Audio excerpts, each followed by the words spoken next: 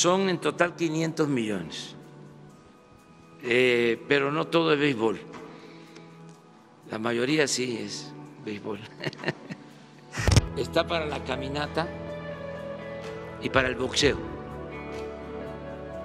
Son tres actividades que vamos a, darle atención especial.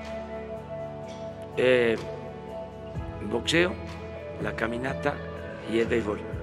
Esto es algo especial. Para, en el caso del béisbol, crear las escuelas.